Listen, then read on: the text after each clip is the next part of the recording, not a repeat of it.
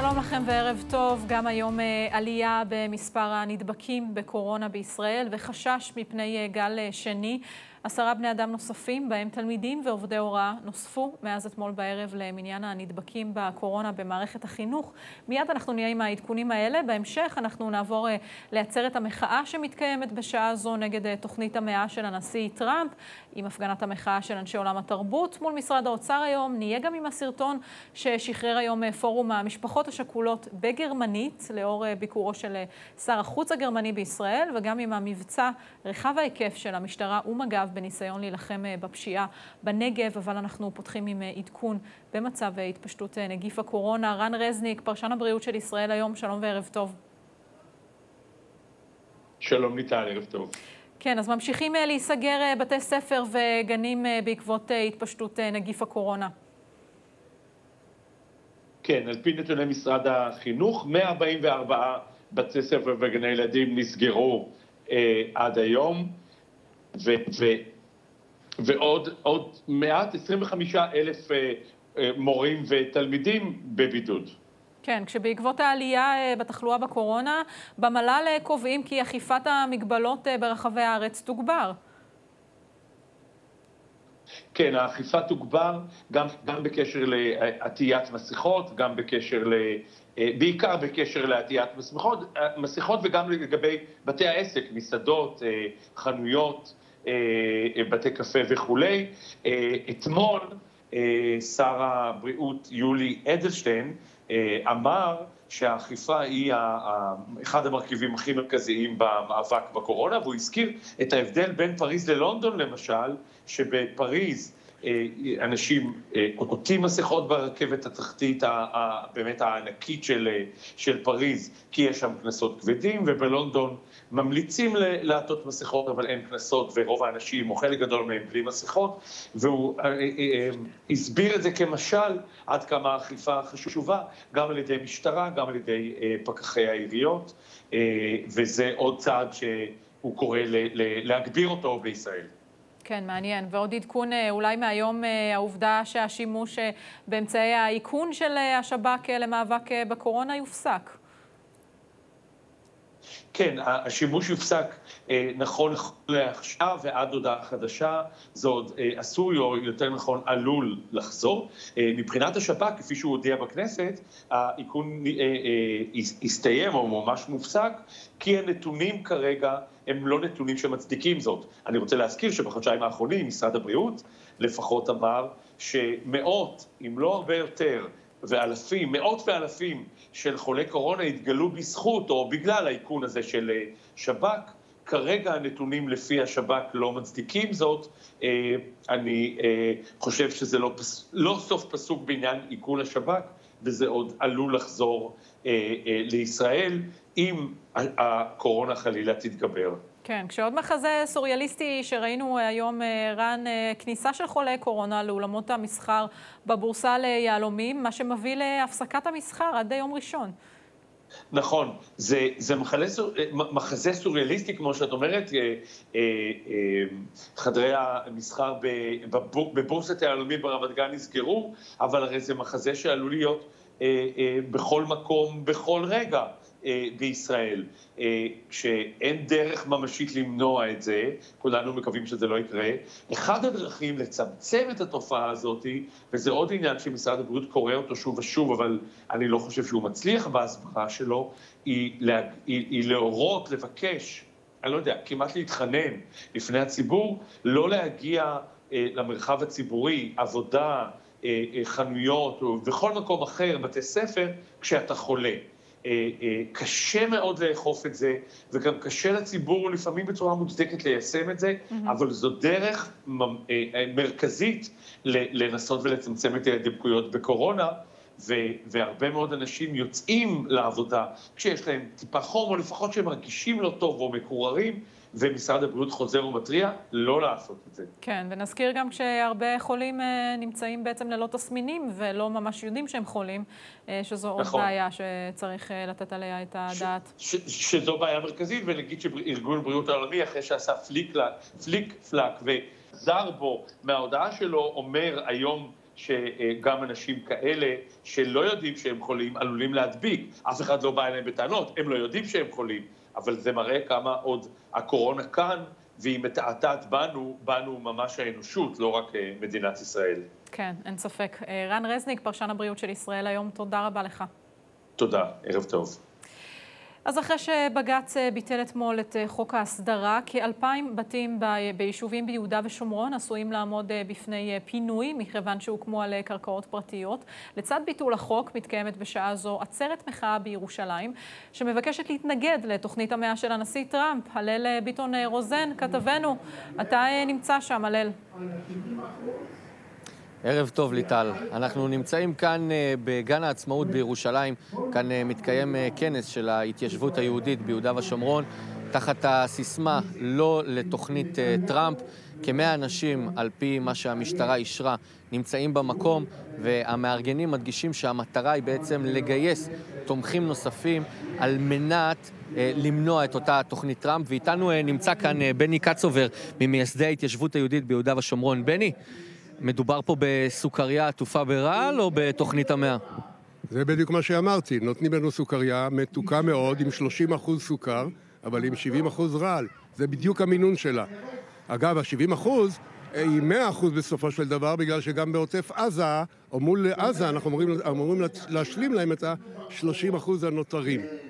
נוסף לזה, לראשונה בהיסטוריה יכניסו יהודים למובלעות, שרוולי תנועה משני הצדדים, תשמור משטרה פלסטינית, שכל אחד יודע מה המשמעות. בני, רבים מאנשי הימין במדינת ישראל טוענים מעט אחרת, שלמעשה מדובר בתוכנית שגם ככה הערבים לא יקבלו, ויש לקחת אותה.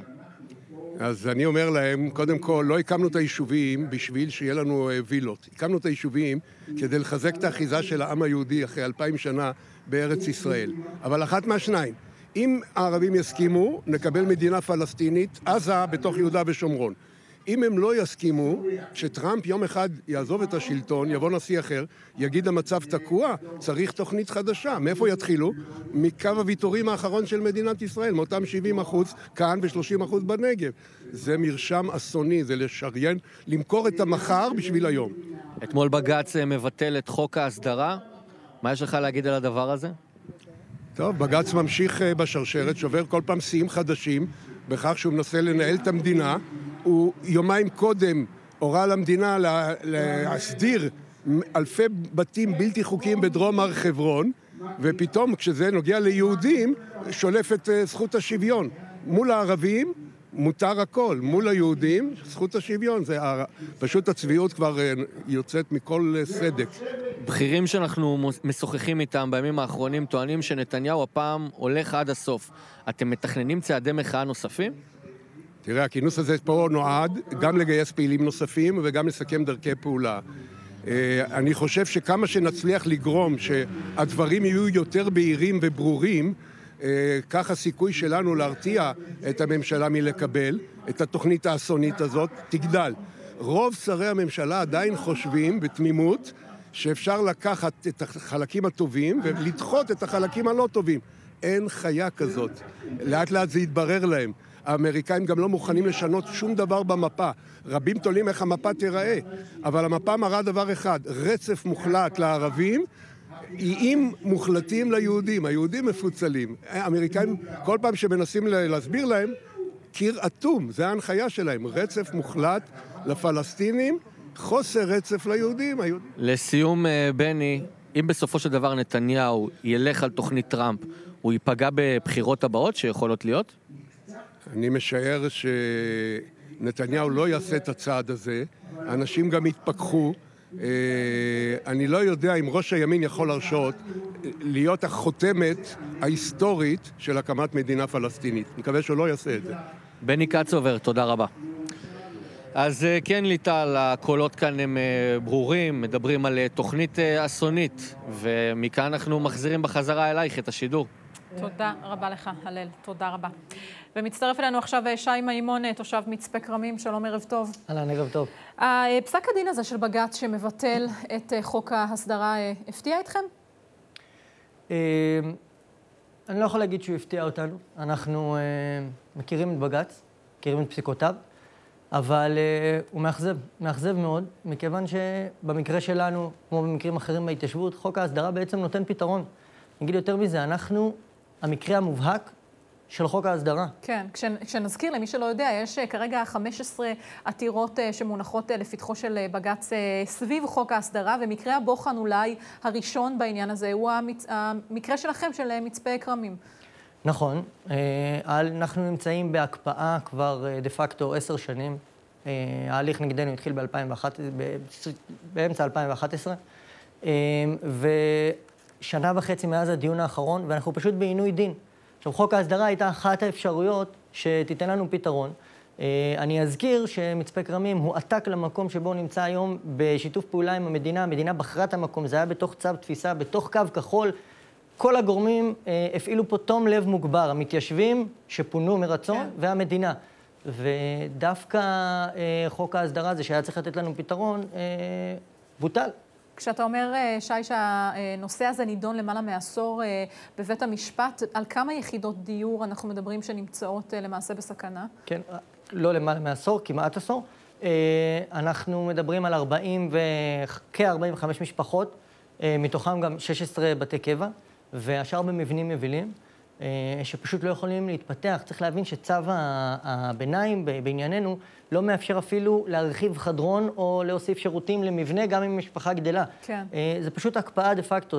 תשווי בנפשך שכל ההתיישבות נמצאת בהקפאה עשר שנים. זה המצב שאנחנו חווים אותו. כשמדברים אגב על מאות של בתים בעופרה, בעלי, במעלה מכמש, אלון מורה ושל... ושאר היישובים האחרים. נכון, ומצפה כרמים, אה, באמת כמו שאמרתי, מקרה הבוחן הראשון. אה, למצב שאחרי, שבוטל חוק ההסדרה. אה, ופה אני אגיד שאנחנו פתחנו הליך במחוזי וניצחנו בו.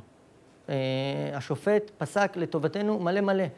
בחן את הראיות, את התצהירים, הכל היה מונח על השולחן, כמו שצריך להיות הליך משפטי, והוא פסק לטובת מצפה כרמים, ועכשיו התיק, עכשיו, לפני שנה וחצי כבר, התיק חזר לבג"ץ. מאז אין פסיקה, ולאור גם התבטאויות בבג"ץ ההסדרה שעכשיו ניתן, אני אגיד שאם אה, ההרכב לא יפסוק אה, לטובת מצפה כרמים, ובעצם לא יהפוך את ההחלטה שקבע בית המשפט המחוזי, כן. אה, בעיניי זו תהיה פשוט אה, החלטה פוליטית נטו, היא לא תהיה משפטית. כן, כי, כי באמת יש תהייה סביב העיתוי הפוליטי, כלומר, למה, מדוע עכשיו, כשהחוק הזה נחקק לפני שלוש וחצי שנים, למה דווקא עכשיו בג"ץ מחליט לתת את ההחלטה הזו אולי סביב אה, עניין אה, תוכנית המאה, תוכנית אה, החלת הריבונות? נכון, זה בעניין חוק ההסדרה. אמ, ובעניין שלנו הספציפי, שאגב, אה, הוא יכול להשליך גם, אה, בעניין שלנו, יש פסיקה שיפוטית לטובתנו שבחנה את הראיות.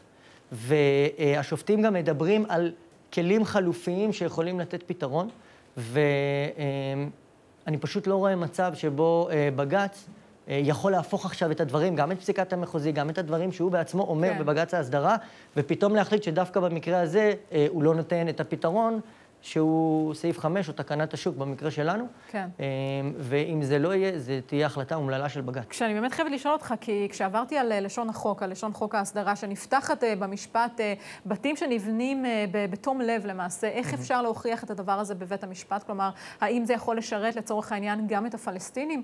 בתים שנבנים בתום לב בלי לדעת שהשטח הזה שייך למישהו? אני פחות מכיר אה, בהקשר הזה את הצד הפלסטיני. אני יודע להגיד מה זה תום לב. תום לב זה מתיישבים שבנו אה, יישוב, ובאה המדינה ואמרה להם, יש לכם בעיה פה במקום הזה, תעברו למקום אחר, אנחנו נבחר את המקום, אנחנו ניישב אתכם, אנחנו נשים אתכם בתוך, בתוך קו כחול. המתיישבים לא התנגדו לפינוי, אה, עברו לתוך, ה, אה, לתוך המקום המוצע בשיתוף פעולה. מדובר על באמת אנשים שהם, אה, אה, אני לא אעיד על עצמי, אני אעיד על חבריי, מלח הארץ. מילואים, משלמי מיסים, אנשים... כשמה, כשמה זה אומר באמת בפועל אה, לחיות תחת העננה הזו שבית המשפט לא מכריע? כלומר, שאתה לא יודע אם אתה יכול להרחיב את הבית או לבנות עוד יחידת דיור? זה אומר אפילו יותר מזה, שיש משפחה שבאה ליישוב עם איקס אה, אה, ילדים ומצב משפחתי מסוים, והיום הם כבר עשרה ילדים בשני קרוונים ולא יכולים אפילו להוסיף חצי חדרון. זה אומר שמשפחות שרוצות לבנות את ביתם במקום שבו המדינה אמרה להם, פה יהיה בסדר, פה אפשר, פשוט לא יכולות לעשות את זה. זה אומר, בתים, אנשים שבנו בית, לקחו משכנתה, נמצאים במקום באישור, לא, מסו... לא יודעים מה יהיה עתידם ומה יהיה עתיד ילדיהם ומה עתיד uh, הבית שלהם. וזה פשוט uh, הזוי בעיניי, גם ברמה הנורמטיבית וגם ברמה התהליכית-דיונית. למה בג"ץ לא פוסק? כבר עברה שנה, עבר שנה, עברה שנה וחצי, סליחה, מאז הדיון האחרון. כן. אף אחד לא מחכה לעוד דיון. אה, אנחנו... שלפני זמן קצר באמת אומרת אה, שרת ההתיישבות אה, ציפי חוטובלי שהיא מתכוונת להגיש חוק הסדרה חדש, אולי מתוקן, לאור ההערות של בג"ץ, אולי זה מעודד אתכם? כן, א', זה מעודד, זה מעודד אותי בכלל כ, כ, כיהודי, כמתיישב ש, שגר פה במדינה הזאת ומאמין ש, שאנחנו צריכים להתיישב בכל מקום שבו אנחנו יכולים, כן. בארץ הזאת, והיא שלנו בזכות ולא בחסד. אבל uh, מעבר לזה, זה מעודד גם את מצפה כרמים וגם את ההתיישבות עצמה, רק, רק שתעשה את זה. Uh, ואני חושב שיש עוד פתרונות, יש עוד דברים ש, שאפשר לעשות. במקרה שלנו ספציפית, uh, באמת, הכל מונח על השולחן, בג"ץ רק צריך לפסוק, ולא לפסוק מעמדה פוליטית, לפסוק מעמדה אמיתית, שיפוטית, ובמקרה שלנו אני לא רואה תוצאה אחרת מאשר להסדיר את היישוב. כן, וכדאי גם לציין שבשנתיים האחרונות היו אה, פסיקות אה, מוגברות של בג"ץ לשני, ביחס לשנים קודמות, זה גם עוד נקודה מעניינת אה, להתייחס אליה. שי מימון, תושב מצפה כרמים, תודה רבה לך. תודה. תודה לך. אנחנו יוצאים עכשיו להפסקת פרסומות ראשונה, מיד אחריה נהיה עם הביקור של שר החוץ הגרמני כאן בישראל. הפסקה קצרה, מיד חוזרים.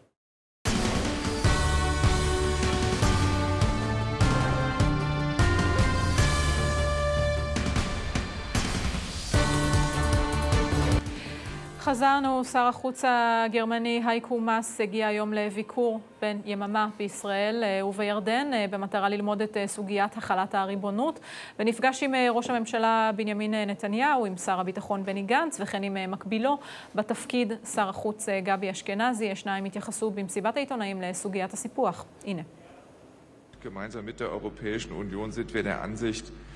Dass eine Annexion nicht mit internationalem Recht vereinbar wäre und deshalb wir nach wie vor zu einer verhandelten, einvernehmlichen Zwei-Staaten.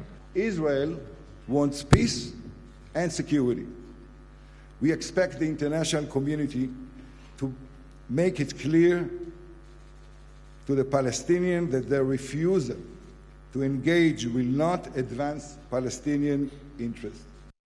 כן, ובמסגרת אה, ביקורו של שר החוץ הפיצו היום אה, פורום המשפחות השכולות בוחרים בחיים סרטון בגרמנית כדי לשכנע את ממשלתו אה, להפסיק לממן ארגונים המגנים, המגנים על מחבלים בבתי משפט ופוגעים בריבונותה של מדינת ישראל. הנה.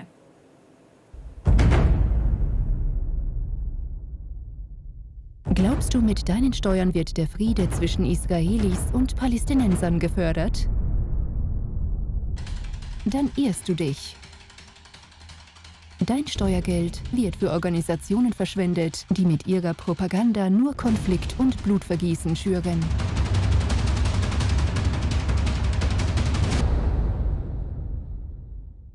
מירב חג'אג', אימה של סגן שיר חג'אג', זיכרונה לברכה, שלום, ערב טוב. שלום. מאיפה הגיע הרעיון לסרטון הזה? אה, אנחנו, אה, קודם כל זה רעיון של החבר'ה של אם תרצו. Mm-hmm. הם אה, יזמו והפיקו, אנחנו כמובן נשארנו. מה שקורה, שאני חושבת שהעם הגרמני לא יודע לאן הכסף שלו הולך. כספי המיסים שלו, במיוחד עכשיו שאני יודעת שכולם מסובכים עם הקורונה, שיתעוררו שם, שיראו לאן הכסף שלהם הולך. הוא מממן רצח של יהודים. כשראינו אגב התעוררות במדינות אחרות, כמו הולנד, כמו נורבגיה, ראינו... שנתנו הנחיה שלא להעביר נכון, כספים נכון. למימון. נכון, גם היה החלטה של האיחוד האירופאי שלא, וגרמניה בראשם כמובן, שהם עומדים בראש האיחוד, אה, שלא לממן אה, אה, קבוצות שהן תומכות טרור, שמזוהות עם החזית העממית, ובסופו של דבר הם התקפלו בהחלטה הזאת שלהם, האיחוד האירופאי, וכמובן מרקל... כשלמי אתם שולחים את הסרטון הזה בגרמנית? לציבור. לשר החוץ הגרמני שמבקש? גם לשר החוץ, גם לציבור הגרמני, שיתחילו לעצור את הכספים האלה, כי זה לא הגיוני. תבנו להם מפעלים, תבנו להם כבישים, תבנו להם חינוך. אל תבנו, תיתנו כסף שמשמש להסתה ולרצח של יהודים. כן, כשאולי נקודה יותר מכעיסה היא, אה, יותר משהממשלות אירופה מממנות אה, אה, את, ה, את הטרור הפלסטיני, מדינת ישראל בעצמה אה, עוצרת את אה, קיזוז אה, משכורות אה, מחבלים. זה, זה אבסורד בפני עצמו, יש את הקיזוז, את הנושא של הקיזוז.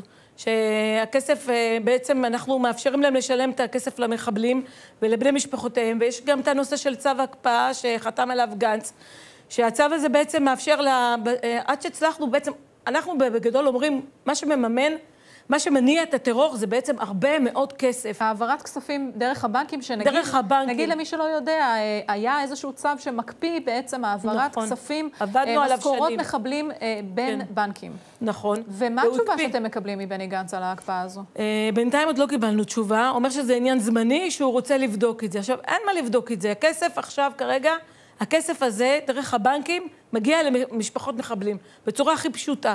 אפשר לעצור את זה, זה, זה ייצור הרתעה. ברגע שמחבל יודע שהוא, ברגע שהוא מבצע את הפיגוע והורג יהודים, או אפילו נמצא בכלא, המשפחה שלו תמות ברעב, סליחה על המילה, שהם ירעבו לפת לחם, ולא יהיה להם שום, אה, שום הכנסה כלכלית, הוא יחשוב פעמיים. אבל ברגע שהוא יודע שהם יקבלו כסף, הם יקבלו כבוד, הם יקבלו כיכרות, הם, כל המערכת, הם יקבלו הגנה מהאיחוד האירופאי, מגרמניה, הגנה משפטית בבתי משפט שלנו.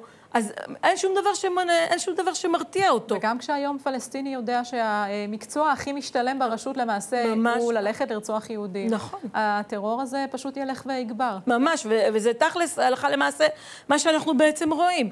שאין שום, אה, שום דבר שמרתיע. שבוע שעבר, אה, לפני שבועיים, סליחה, אה, הופסקה הריסת בתים אה, של דביר סורק, הבג"ץ עצר אותם. זאת אומרת, אנחנו היום עומדים במצב שאנחנו, מבחינת הרתעה, אין לנו שום, אנחנו לא יכולים לגרש משפחות, אין עונש מוות. אז אין לנו שום דבר שיכול להרתיע את המחבל הבא, וזה בעצם המטרה של הפורום, זו המטרה שלנו כמשפחות שכולות. למנוע את הפיגוע הבא, למנוע את הרצח הבא. אנחנו לא רוצים שעוד משפחות יצטרפו למעגל שלנו. ומאוד מאוד קשה לעשות את זה. אני, עם גנץ אנחנו באמת מתפלאים על הצו הזה שהוא הקפיא אותו. אין לזה שום היגיון. אני, כל מי שמדבר איתי ברחוב אומר, אנחנו לא מבינים, אנחנו לא מבינים איך אפשר דבר כזה. אין בזה שום, אין בזה שום, אה, שום הסבר. כן. לדבר כזה שאתה מאפשר, הלכה למעשה, להעביר למחבלים את, ה, את הכסף ישירות. ישירות, וגם חוק וגם, הקיזוז... וגם דיברת על, אה, על הריסת אה, בתי אה, מחבלים, גם כשזה כבר ניתן אישור להריסת בית, זה קורה שנים אחר כך, ואז איפה ההרתעה בדיוק, וגם וגם- אז הרשות הפלסטינית בונה מחדש וגם את בונים, הבית. וגם מה שהיום, מה שבעצם, עוד פעם, אנחנו פה פה, מתפרסים להמון המון נושאים, אבל בעצם אה, בג"ץ במשך השנים, כל הנושא ההרתעה, הוא, הוא מיסס אותו לגמרי. זאת אומרת, עוד פעם אמרתי, אה, גירוש אה, בלתי אפשרי לעשות, כן. ועונש מוות זה לא עומד בכלל על הפרק, אז נשאר הריסת בתים, שהוא לא יכול, אה, הוא לא יכול להוריד אותו לגמרי, אז הוא, מה שהוא עושה, הוא הורס דלת, הוא הורס חלון, הוא מאפשר להם לבנות קומה שנייה, כל מיני דברים אבסורדים, שאנחנו, המשפחות השכולות, נמצאים. אני רוצה עוד פעם לחזור לנושא של השגריר הגרמני שנמצא פה. כשאני ניגשת לבית משפט, אני פוגשת שם את הנציגים של המוקד להגנת הפרט. 17 מיליון שקל דרך, הרש... דרך הממשלה הגרמנית, כן. כן. מממנת אותם, זה בלי ה... עוד אה, מימון שמקבלים מהרשות, מהאו"ם ומעוד גורמים. זאת אומרת, אנחנו משפחות עומדות שם מול תובע עורכי דין, שגם אנחנו מבקשים ליצור, אני רוצה צדק ואני רוצה הרתעה, ואני לא מצליחה לא לקבל את זה ולא למנוע את הפיגוע הבא, לצערנו הרב. קבעתם אגב להיפגש עם אה, שר כן. הביטחון אה, בני גנץ? כן, יש לנו פגישה איתו. הוא אמר שהוא יישב איתכם, שהוא ישמע את כן, הטענות זה- שלכם? כן. חשוב אה, מאוד. מירב חג'אג', תודה רבה שהגעת אלינו. תודה לכם. ודיברת על הביקור של שר החוץ הגרמני, ומצטרפת אלינו בעניין הזה הודיה קריש חזוני, כתבת מדינית מקור ראשון, שלום וערב טוב. ערב טוב.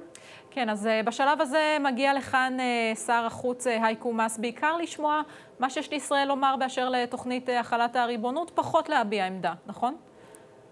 כן, האמת היא, את יודעת, אפילו יותר מזה, כי באופן רשמי ודיפלומטי, אז משני הצדדים, גם מגרמניה, גם מישראל, ניסו מאוד אה, אה, לטשטש בימים האחרונים ולהגיד, לא, לא, הוא לא בא רק בגלל הריבונות, הוא בא באמת אה, כיחסים חשובים לו, הוא בא אה, כדי, אה, הוא בא בשביל כל מיני ככה הסכמים דיפלומטיים, הוא בא בשביל היחסים הבילטרליים, זה הביקור הראשון שהוא עושה אחרי הקורונה, אבל בסופו של דבר הוא בא בשביל לשמוע מה, מה בדיוק אה, ישראל מתכוונת לעשות. אה, להגיד שהוא שמע היום ככה את כל הפרטים והבין מה, מה קורה, קשה לומר, בדיוק כמו שאנחנו ככה, אזרחי מדינת ישראל, עומדים כנראה כמה שבועות לפני התאריך היעד ולא יודעים בדיוק את הפרטים ולא יודעים בדיוק בדיוק מה עומד לקרות. אה, הוא בא ככה כן. כדי, אה, אה, מאוד הייתה, מאוד דיפלומטיה אה, זהירה, הוא מאוד לא רצה לאיים, הוא מאוד לא רצה לנקוב במחיר, בתג מחיר, אם תעשו ככה זה מה שיקרה, אבל הוא כן ככה נתן להבין, גרמניה הרי נכנסת בחודש הבא, ביולי, למשך חצי שנה לתורנות של נשיאות מועצת האיחוד האירופי. אה, ופחות מתאים להם שכל העניין הזה עכשיו ככה נופל לפתחם. וכדאי לציין שהוא גם ממשיך מכאן לביקור למעשה בירדן, שגם הקשר עם ירדן כן, מאוד האמת מאוד חשוב הוא להם. הוא גם שומע בפגישות אה, זום אמנם את, אה, את אה, אנשי הרשות הפלסטינית, אבל הוא הולך לשמוע את כל הקולות. נכון, את, הפגישה, את פגישת הזום אגב עם רמאללה הוא יקיים מירדן, זאת אומרת ככל הנראה הירדנים יהיו מעורבים, הייתה גם איזו אה, בדיקה אה, לבדוק אפשרות אה, אה, לנסוע בפועל לרמאללה, בגלל ככה כל העניינים של קורונה אה, זה לא הסתדר, גם ישראל אמרה אם אתה נוסע לשם, אחרי זה כדי לחזור דרך נתב"ג אה, זה יותר מסובך. אה, אז, אז לרמאללה הוא לא נסע היום, אבל לירדן בהחלט כן. כן. וימים יגידו, ימים יגידו אם אה, גרמניה הולכת אה, לתמוך במהלך הזה או להטיל, לתמוך נראה לי, את. יודעת, קצת מרחיק לכת, השאלה עד כמה, עד כמה, אה, בוא נגיד, יענישו במרכאות את ישראל, אם ישראל תתפוס אומץ ובכל זאת תלך על הצעד הזה. כן, למרות שיחסית לשאר מדינות אירופה היא אמורה להיות אה, ידידה קרובה של ישראל בכל מקרה, יחסית לממשלות אחרות, אבל ימים, ימים יגידו אה, מה תהיה העמדה שלהם. אה, הודיה קריש חזוני, תודה רבה לך, תודה. תודה, ביי להתראות. אנחנו יוצאים עכשיו להפסקת פרסומות קצרה, מיד חוזרים.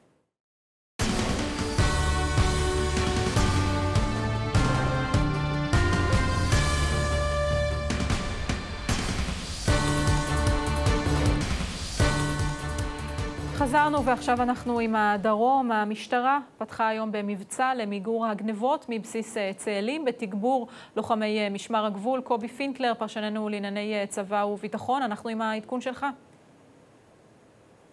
כן, זה קורה פחות מעשרה ימים לאחר הפעולה של הבדואים מכפר דיר דהד באזור תאלים, כאשר השר לביטחון הפנים כבר מהפגישה הראשונה שלו, כבר מההוראה שלו הראשונה הייתה לפעול בצורה תקיפה מאוד כנגד אותם בדואים שפרעו, פגעו, גנבו מבסיסי צה"ל ולאחר שיחה שהייתה בין סגן הרמטכ"ל לבין אה, הסמפכ"ל במשטרת ישראל, הבוקר זה בא לידי ביטוי.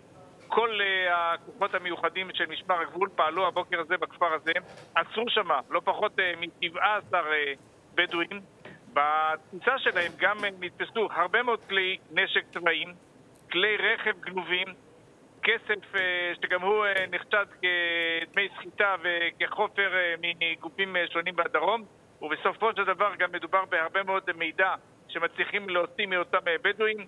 אה, בצה"ל, מערכת הביטחון ובשירות בתי הסוהר שנערכו לקליטת אה, העצורים הללו אה, אומרים שבהחלט זאת פעילה ראשונה במרחב הזה גם במשמר הגבול. מדברים על כך שזאת תהיה פעולה ראשונה מתוך כמה וכמה פעולות לנסות למגר עד כמה שניתן את הפשיעה הזאת שבעיקר פוגעת בכוחות הביטחון בגנבת אה, נשקים, כן. בסופו של דבר גם מגיעה לידי אה, גורמים עבריינים. כן, ועניין אה, נוסף אה, איתך, קובי, השקט היחסי אה, בצפון שאולי מתעתע בכולנו, כי בצה"ל נערכים אה, לתרחישים אה, השונים, ואתה, קובי, מצטרף היום אה, לאימון של אה, חטיבת אה, גבעתי. כן, זה קורה לאחר כמה וכמה שבועות שבהם הצעירים של הצבא מתאמנים אה, למעשה במתאר של לבנון. זה החל כאשר הרמטכ"ל נכנס לתפקידו, כוכבי, והציב את הצפון בראש סדר העדיפויות. כלומר, הלחימה בצפון, הלחימה באזור לבנון, חיזבאללה, סוריה, היא זו שתלווה אותנו כנראה בשנים הבאות, ולכן החליט אלוף פיקוד הצפון לעשות פעולה מאוד מעניינת, מיוחדת, קיבל על כך גם הרבה מאוד תקציבים, פעולה שנקראת רף צפוני. כלומר, כל הגדודים הסדירים בצה"ל יעברו ועברו כבר פעולות במשך שבוע ימים כל אחת מהיחידות הללו, מהגדודים הללו, בסדר גודל של גדוד שהוא לא גדוד אורגני, למשל של זה שהצטרפתי אליהם היום של גדוד אה, רותם, כן. אלא מדובר בגדוד שמשולב גם עם יחידות מהשריון, גם מכוחות הנדסה, גם חיל האוויר, כמובן, גם אה, תותחנים, וכמובן הגדוד עצמו, וכולם נלחמים כנגד אויב שנקרא חיזבאללה. וזה מתחיל אה, בפעולה בשטח, אה, וכבר החלה ביום שני. כאשר הכוחות עולים מאזור עין כרמל, באזור הכרמל, לכיוון ההר, מדמים את סלוקי, מי שזוכר את הימים הקשים והארורים הללו שם, וזה ממשיך לאורך כל הימים האחרונים. שמענו גם במהלך התרגיל הזה את סגן מפקד הגדוד, דניאל אלה, אחרי ארבעה ימים, כמעט קולות צרוד, אבל עם הרבה נחישות והרבה מוכנות.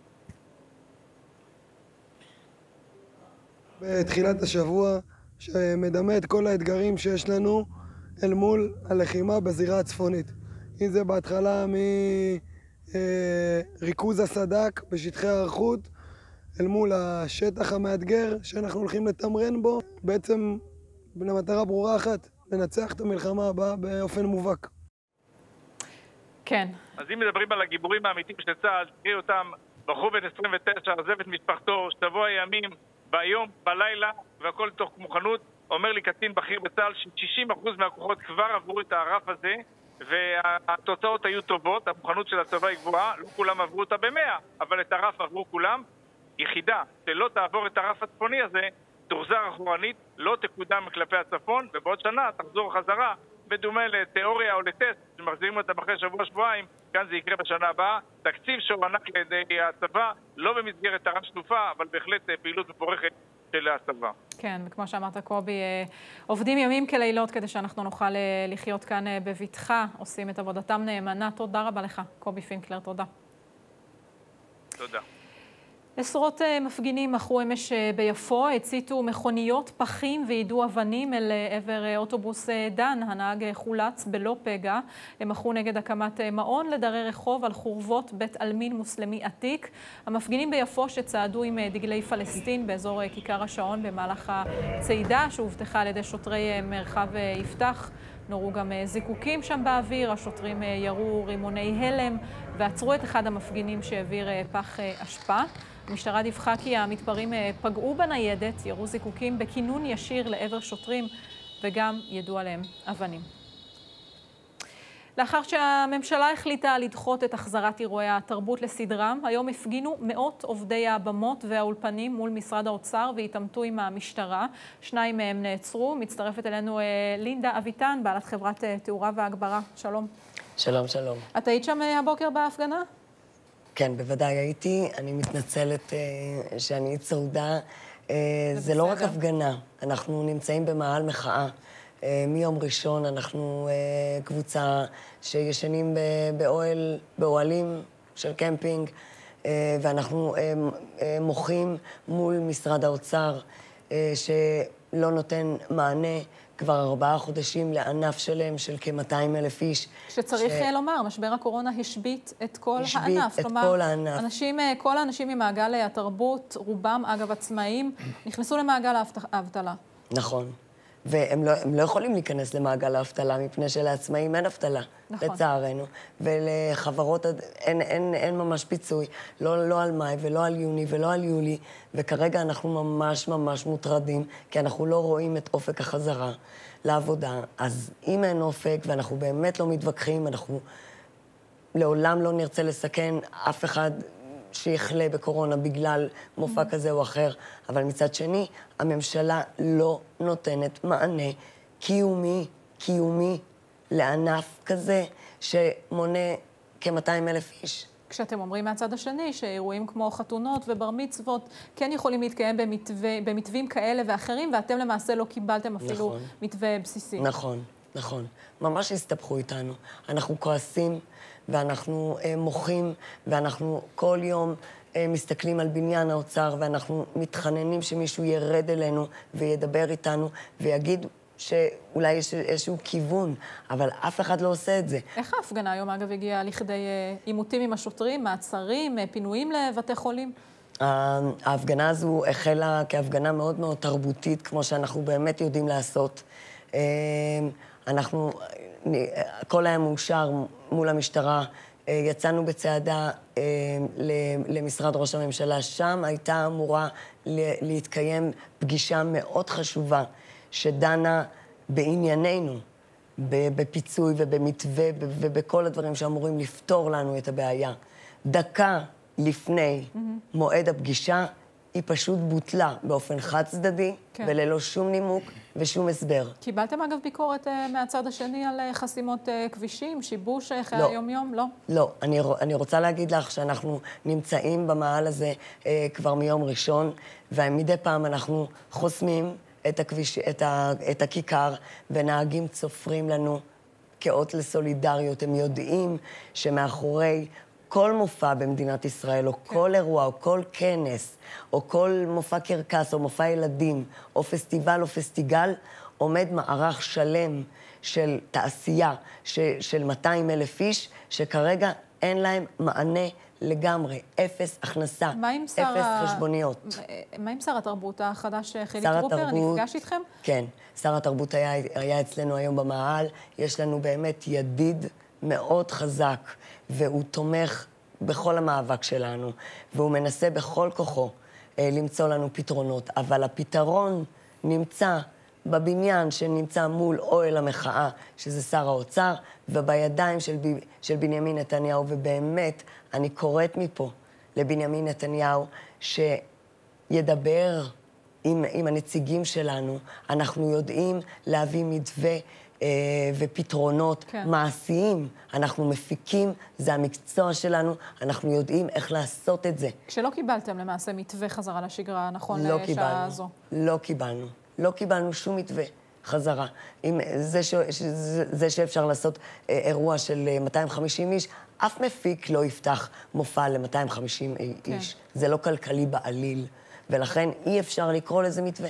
אז, אז מהצד השני, כשבאמת אה, דיברת בתחילת השיחה על החשש באמת מהתפרצות הנגיף, איזה מתווה אלטרנטיבי כן הייתם יכולים להציע לראש הממשלה? יש לנו מתווה אה, של תו סגול לאירועים, יש לנו מתווה עם תו סגול לכנסים.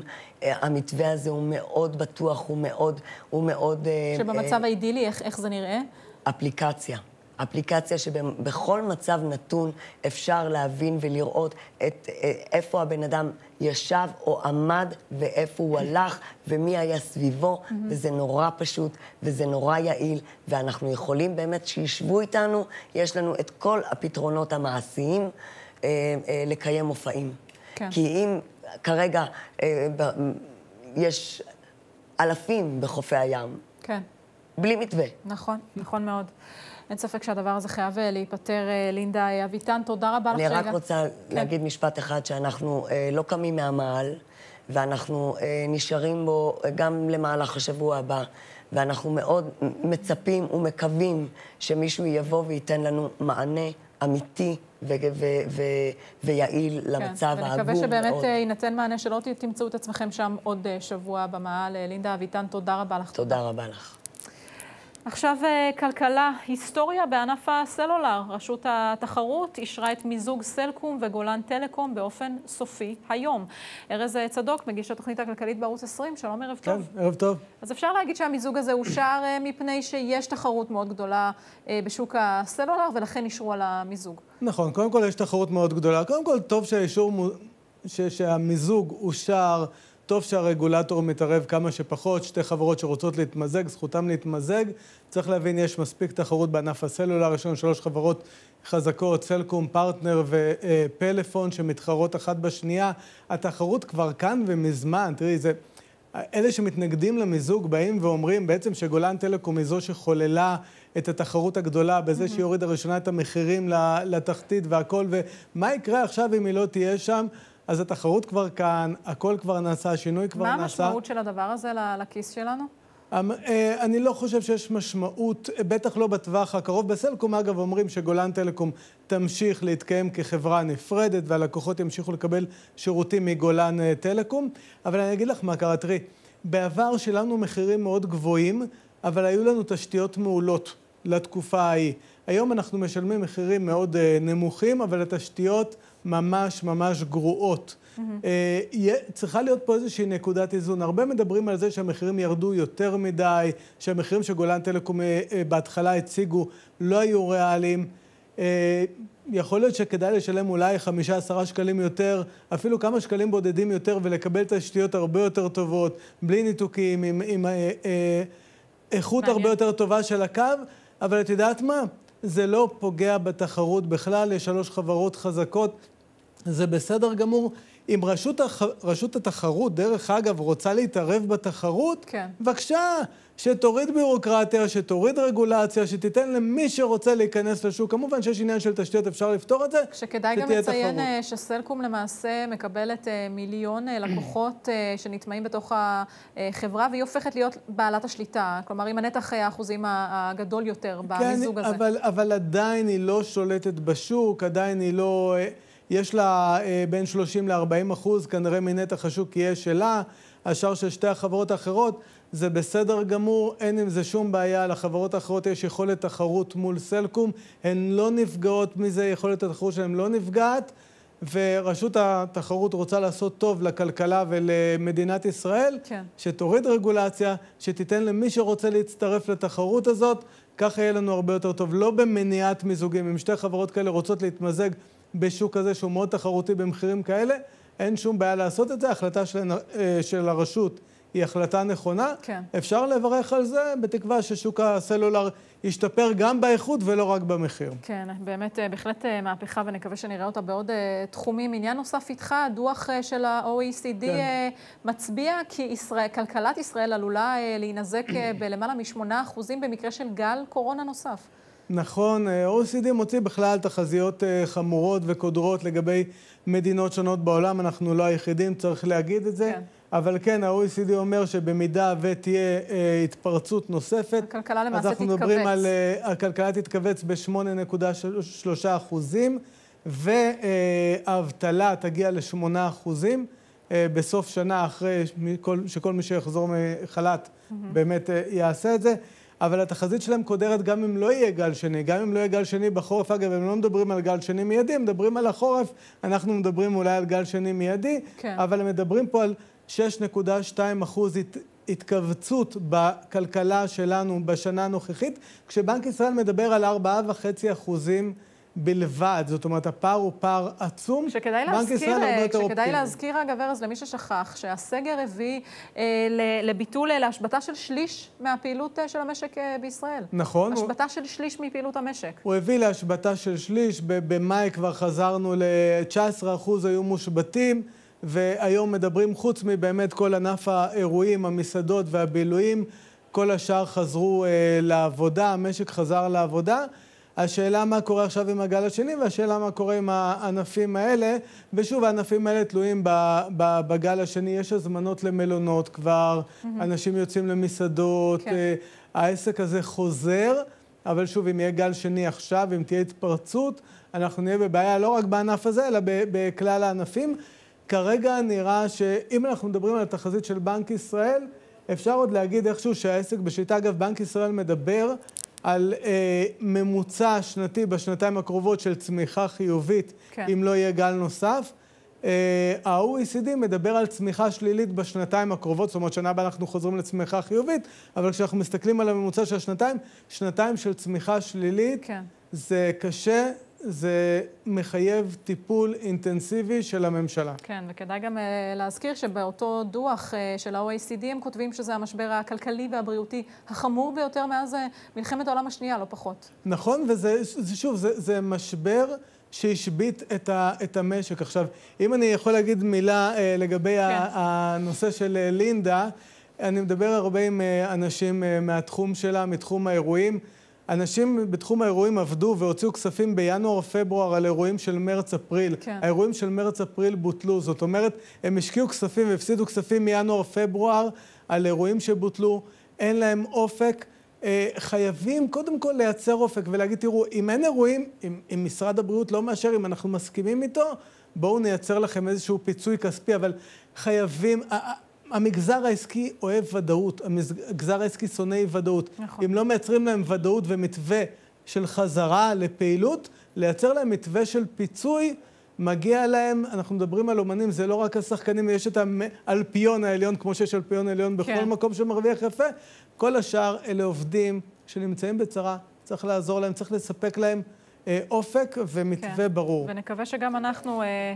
שגם אנחנו אחרי הגל הזה ולא עדיין בעיצומו, גם הדברים הללו עוד לא לחלוטין ברורים. בהחלט, זה לא ברור. אתה תהיה כן. כאן מחר ארז עם אה, כל הנושאים הכלכליים מחר, אגב, כן, גם חבר כנסת גדעון סער, גם פרופסור אה, אבי שמחון, ראש המועצה הלאומית לכלכלה, יהיו פה בתוכנית הכלכלית להגיב על כל הדברים על הדוח של ה-OECD, ואנחנו נשאל אותם גם מה קורה עם ענף האירועים. חשוב מאוד. ונבדוק.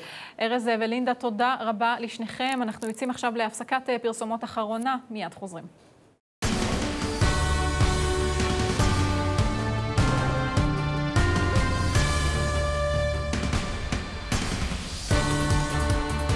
כן, חזרנו. שר, שר החינוך יואב גלנט הנחה היום אה, לעצור את פעילויות אה, החוץ והטיולים של המכינות הקדם-צבאיות עד לסוף השבוע בעקבות שני אירועי בטיחות חמורים. באחד האירועים קבוצה שערכה ניווט נכנסה במהלכו לשטח אש ברמות אה, מנשה. באירוע נוסף מדריכה במכינה ניצלה מטביעה בנחל דן שבגליל העליון. דני זמיר, מנכ"ל מועצת המכינות, מייסד מכינת רבין, שלום, ערב טוב. ערב טוב. כן, אז אפשר לומר שאסון אה, נחל אה, צפית מ-2018, בו נהרגו תשעה צעירים, השאיר צלקת אה, גדולה וגם הבהיר לכולנו שצריך לנקוט משנה זהירות באשר ליציאה לטיולים. כן, רק שגם התיאור של האירועים כמו שאת מתארת אותו הוא לא מדויק ולא נכון, וגם צריך, אנחנו מקיימים מה שמשרד החינוך מחליט, אבל ספק רב אם ההחלטה הזאת היא מידתית. אז בוא תאיר את עינינו, בוא תאיר את עינינו.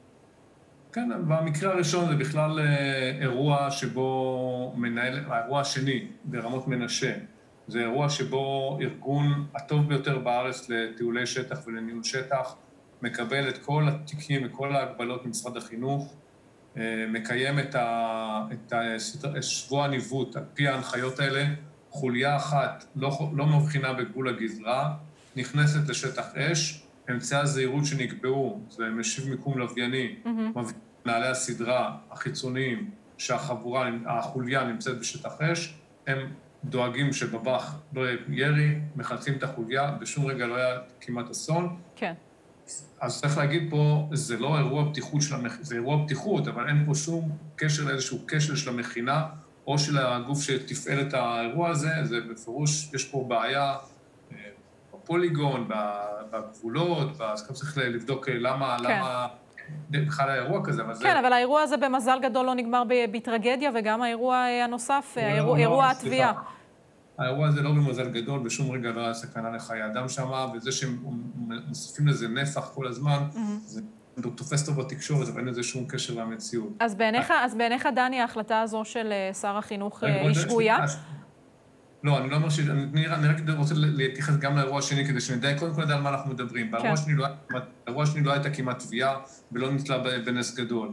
המדריכה שהיא רכזת את הטיול, וזה אירוע בעייתי, שתכף אני אגע בו למה הוא בעייתי, אבל המדריכה נכנסה בנחל הדן, במקום שגם כן, בגלל שלפי הנהלים של משרד החינוך והמכינות וכל השינויים בעקבות אסון צפית, היה אדם מוסמך אה, להצלה ולליווי הרוחצים, הוא הבחין שהיא במצוקה מסוימת והוא הוציא אותה כל האירוע כ-30 שניות, שום אה, הנחיה, שום דבר, המשיכה ללכת 4 או 5 שעות, ובלילה, אה, בהתייעצות עם ראש המכינה, לקחו אותה בחדר מיון כי ביקשה שיבדקו אותה, כן. בסדר, רק שנייה. אז צריך למסגר את האירועים. עכשיו, השאלה היא כזאת, אני לא מתחיל, אה, אני חושב שכשמחליטים החלטה מה לעשות, צריך לראות את התהליך, מה קורה, לקבל את כל העובדות, כל התחקירים, וגם אז, צריך החלטה שהיא החלטה שהיא מידתית. כן. זאת אומרת, האם ספר מסוים כושל בהוראות בטיחות שלו, אז מחזירים את כל בתי הספר, כי יש פה איזושהי שאלה שהיא רצינית. Mm-hmm. עכשיו, מותר למערכת החינוך, למשרד החינוך וכולי, להוביל את הדברים כמו שהם רוצים. כן, ולכן התחלתי בלשאול אותך אם אולי האסון בנחל צפית השאיר איזושהי צלקת גדולה, ולכן לקיחת משנה הזהירות הם אולי לא כבעבר. א', ברור שהשאירה רגישות וצלקת, אבל השאלה אם, אה, אם, אם מי שממונה ומופקד ומכיר את השטח ויודע מה קורה במכינות, אם זאת, אם זה מה שצריך לעשות, זה נושא לדיון, ואני את הדיון הזה אקיים במשרד החינוך, אני לא, לא אקיים אותו פה בתקשורת. יש לי עמדה, ואני אציג אותה. אני... עד מתי, אגב, העוצר פעילויות אה, הזה יימשך? כרגע המכינות אה, עושות היום ומחר חזרה ורענון לנהלים, וביום ראשון הן אמורות לחזור על תאיר. אוקיי, אז כלומר, רק, רק עד יום ראשון זה לא, לא כזה נורא, בכל מקרה. זה, זה, אני אגיד לך, זה נורא, אני אגיד לך למה. זה, זה, א', את צודקת, זה לא כזה נורא, אבל זה נורא בכל זאת, כי נשאר נורא מעט זמן למכינות. הם בקורונה עבדו בהתנדבויות וכולי, לא הייתה מכינה. זה גם עלות של עשרות אלפי שקלים. יש שלוש מכינות בערבה טיילו בצפון, הן צריכות לחזור ליומיים לדרום, זו החלטה עם משמעויות מאוד מאוד כבדות, גם מורלית, זה מאוד מאוד אה, בעייתי. למרות זאת, אני אומר עוד פעם, כאילו, יש, השר ומערכת ההחלטות הם סוברנים בהחלטות שלהם, אני לא כופר. כן. וכנראה, זאת אומרת שהרגישות היא מאוד מאוד גדולה, הרגישות, ולקחו את ההחלטה. דני זמיר, מנכ"ל מועצת המכינות, תודה רבה לך על השיחה הזאת, תודה. ביי ביי, להתראות. זהו, אנחנו סיימנו. תודה לכם שצפיתם. אנחנו נהיה כאן גם מחר בחמישה לשמונה. מיד אחרינו בתשע הפטריוטים עם ינון מגל, אבל קודם, שמעון ריקלין וינון מגל ביקרו השבוע בלוד בעקבות אירועי האלימות בעיר. מחר בתשע ורבע נשדר את התוכנית המלאה. עכשיו ניתן לכם קטע קצר ממנה, המשך צפייה מהנה ולהתראות.